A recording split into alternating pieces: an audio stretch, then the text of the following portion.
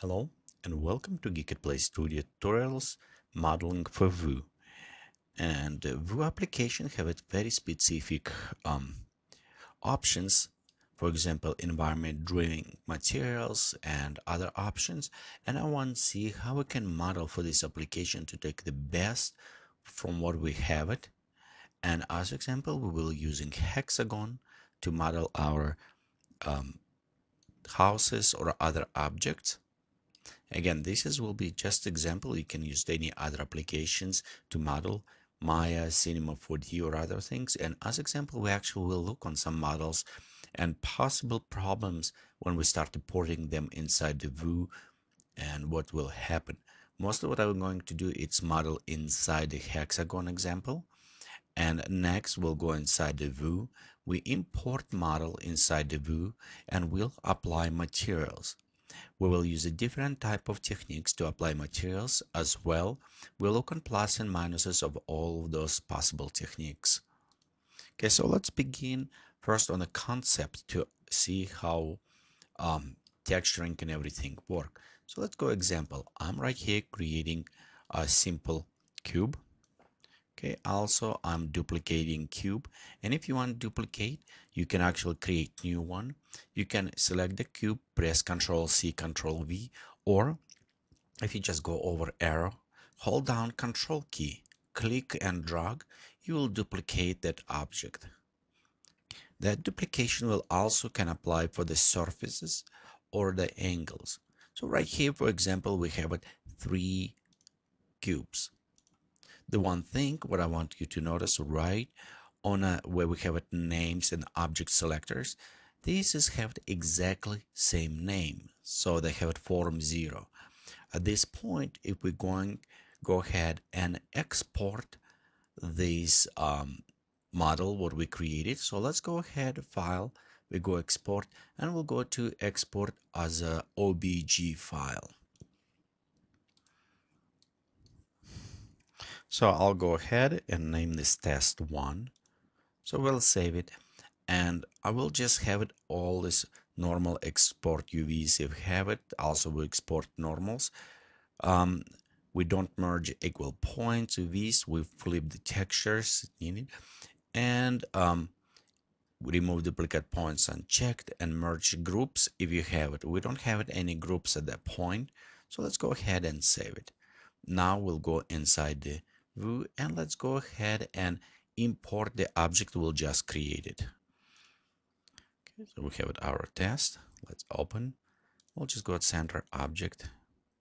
The one thing you will notice because the naming was same, now we have it only one. So we have it no way to access our sites. So in this case, if we're going and I want example, uh, put a different textures on a side it's kind of hard with Vue. You need go inside the function editor and we need go by object parametric orientation. So what I was meaning, we need set up different type of mapping right here. Okay, we can go inside edit function and we can add additional fun functions to have our color based on position of the object and after we need go and switch this to object parametric. Again the tutorial not about how we can trick this way but that is harder hardest way to do this. And um, it's take longer time to apply to our object. So instead let's go ahead back to our hexagon what we can do here. Few things if you want separate the object one you just need to rename them. So you select it go on the top and let's say one and be sure you press enter to validate this your selection. Let's go ahead have a two and we have a three. Again this is by the default. So now we have it one and two and three three different objects. We'll go ahead export to this point. Okay and we'll name it this test 2 okay we'll save it. Now let's go ahead and import new object we'll just created okay now you notice when we import it we have an actual group of the objects where we name it one 2, and 3.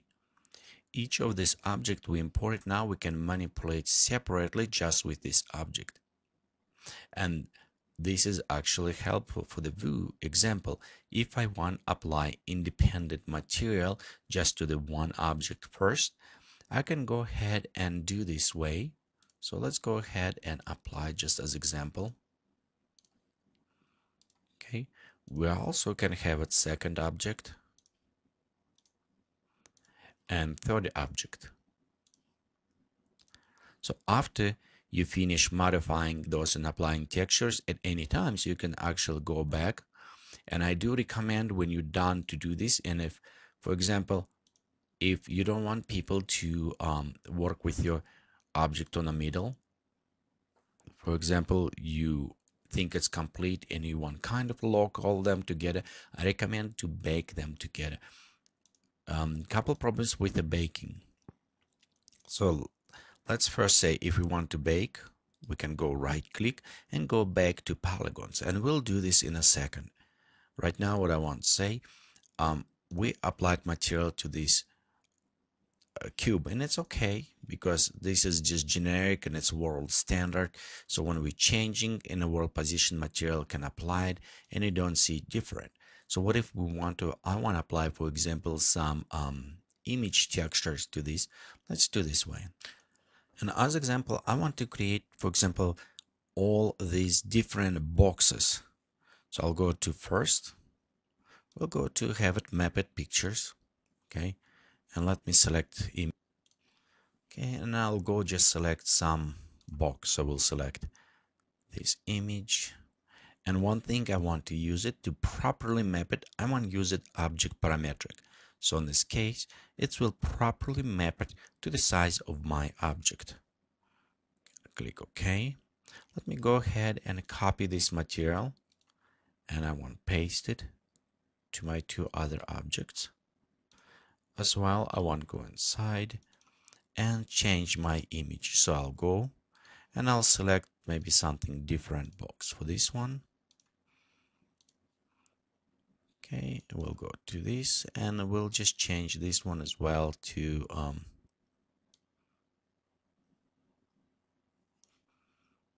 some other.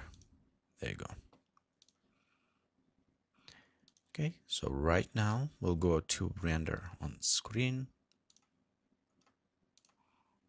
You can see we have it boxes applied and we have it correct uh, material. So mapping actually very nice the problem if we start to um, bake them, so let's go to bake to polygons. Okay, if we look right now, you can notice our material is stretching and doesn't apply properly. And reason is why, because we set right here to object parametric. If before we bake, our object was just the small cubes, now when we bake together, the object is become all these um, one big. So in parametric stretching that way. To fix this problem, if you want it, you need go inside, for example, um, y, okay, and reduce this to about 0.3. So because we, in this case, it was easy. We have one, two, three, three sections. So if we stretch this way, we can readjust.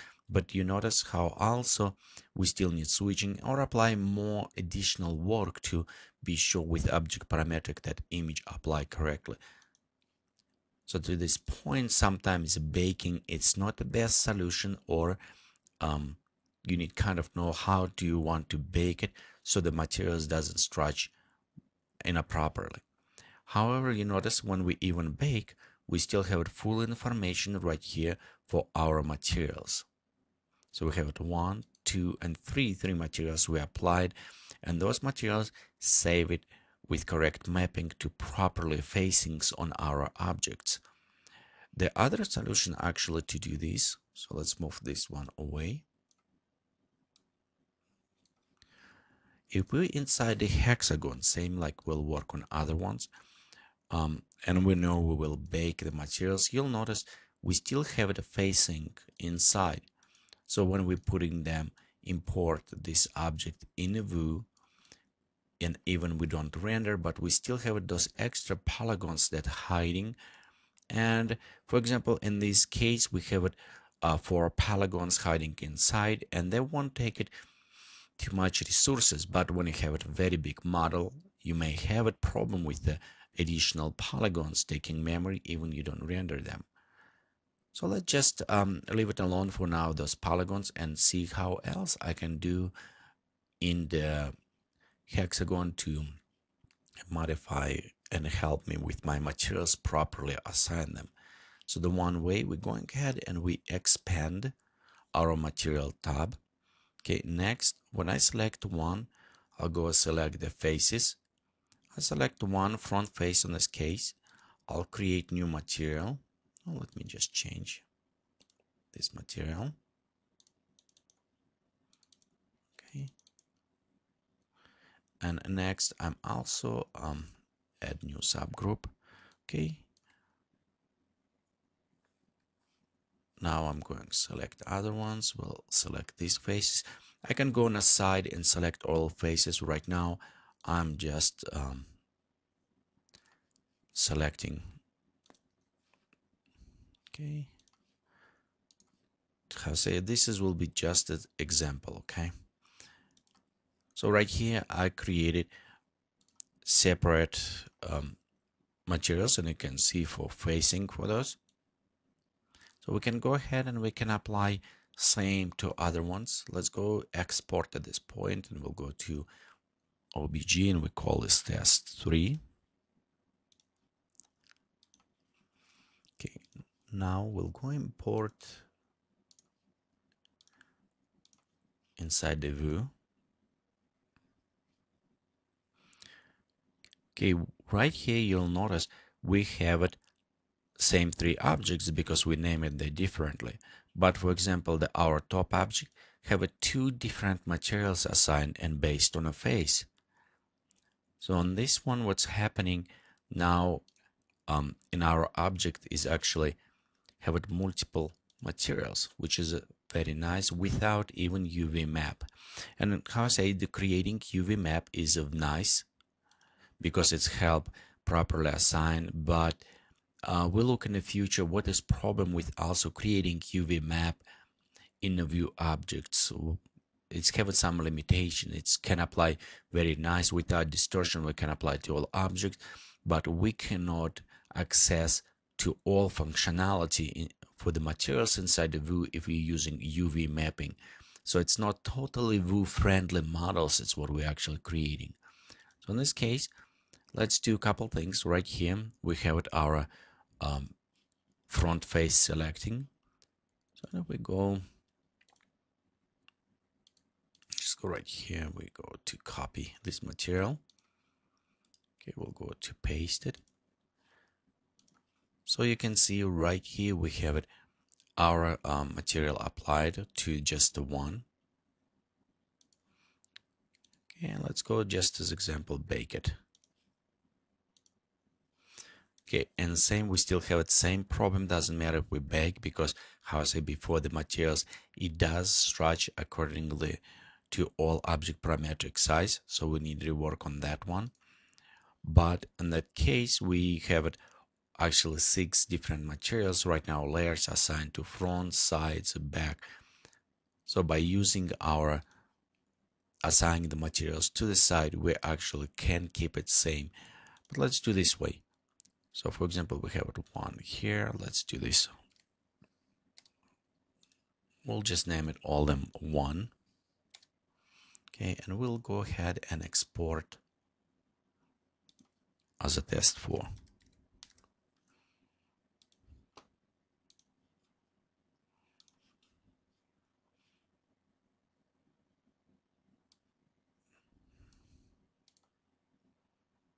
Okay, we go import our test for object. And as example, you can see we have just a one object already baked together, kind of what we try to do. And right here, we also have all the six materials we applied as before. So if we're going to material two, which is this front face top, okay, and we'll go to um, base material and one what I have before that will apply same again because it's one big object that will apply stretching so we need to readjust our mapping. But in that case we have one object which um, have it only always different facing and that is help us in case when we start creating optimized polygons and we go select one okay and we'll create for example this way we create three different okay on that case we don't have those polygons that are collected inside so we still have it but we can now go ahead and assign different type of materials to different so we'll go ahead let's just as example create different ones okay we have different groups for this one.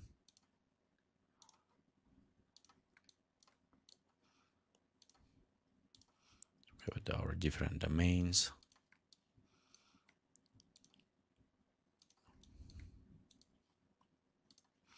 Okay and as example let's just make it different actually on this one middle one.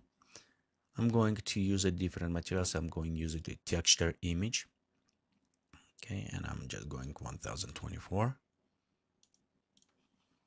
okay I'll just select one of the image to use it for this. So we kind of have it example when we start importing and let's go ahead now um, export our model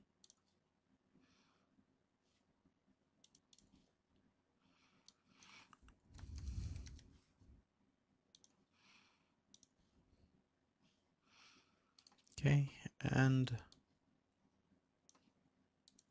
file import and we'll go ahead and import arrow 5 so right here. Actually I did select some other ones but let me remove this one. So here's a couple problems when we applied you can see right here we have a distortion. So we actually need to work a little bit better on the UV mapping and properly set up inside the hexagon. But we possible for us to apply the properly textures inside the hexagon so we can still do this without even applying UV mapping. Also um okay let me go switch to this one right here we can also go inside and if you want to try to correct and again it's object standard so let's go switch to object parametric in this case. And um, we'll go to just to verify a couple things we have it all is correct. And project textures. Okay and again this is with a normal probably setup we have it a little bit wrong so let me go ahead and maybe just reset to something else.